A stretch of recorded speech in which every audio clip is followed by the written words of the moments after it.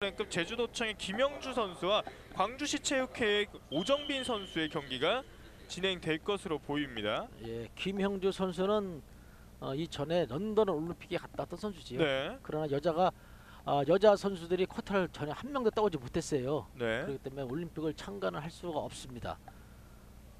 자 다시 한번 말씀을 드리자면 이제 여자부 53kg급 이거 이 경기가 바로 또 결승전인데요. 두 선수밖에 등록이 안 되어 있는 이번 대회. 청 홍코너에는 제주도청의 김영주 선수 그리고 청코너에는 광주시 체육회 오정빈 선수가 결승전을 펼치게 되겠습니다. 자, 여자부 경기라고 한다면 더 스피드한 부분에서도 분명 강점을 가진 선수들이 있을 텐데요. 그렇죠. 김영주 선수 같은 경우에는 어, 어제 경기를 했던 엄지윤 선수와 네.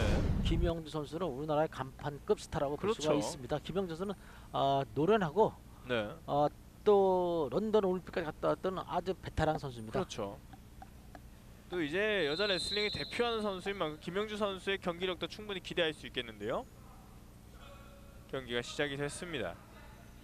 다시 한번 오른쪽 하단에 그렇죠. 노려봤는데요.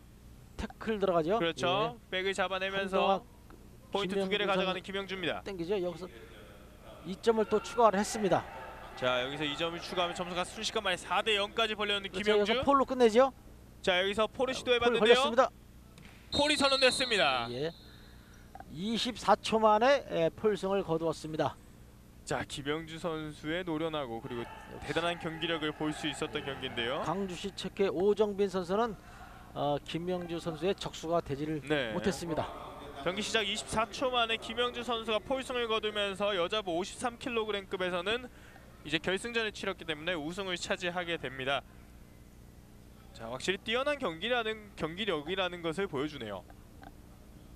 김영주 선수가 승리를 거두면서 폴승 단 24초 만에 경기를 마무리 짓습니다. 자, 이제 여자부 63kg급 광주 남구청의 장은실 선수와 한국체육대학교 이무영 선수의 경기를 보여줄 텐데요.